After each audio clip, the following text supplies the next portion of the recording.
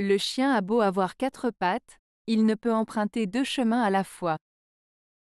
Proverbe africain.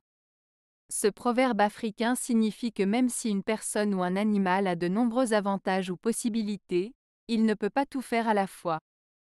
On doit donc choisir une direction ou un objectif à la fois et s'y consacrer pour réussir, plutôt que de se disperser en essayant de tout faire en même temps.